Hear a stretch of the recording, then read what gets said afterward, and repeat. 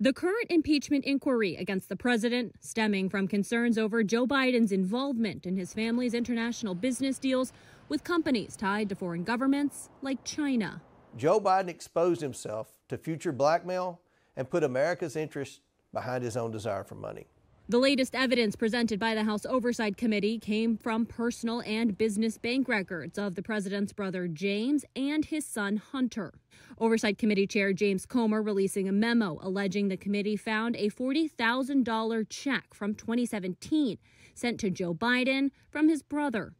According to Comer, this is laundered money that came from a business deal with a Chinese energy company linked to the Chinese Communist Party. It's also worth remembering that Biden family efforts to secure millions from this Chinese company began when Joe Biden was still vice president. Comer also alleged the Biden family bank records show extensive tax evasion.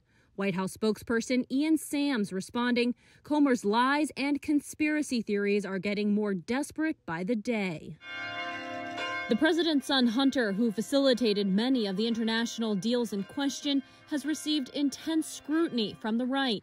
Critics latching on to his crack cocaine addiction and affinity for prostitutes and partying, which was well documented through evidence obtained on his laptop.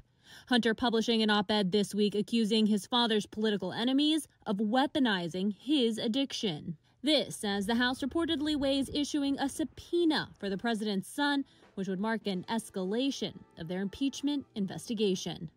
I'm Kayla Gaskins reporting.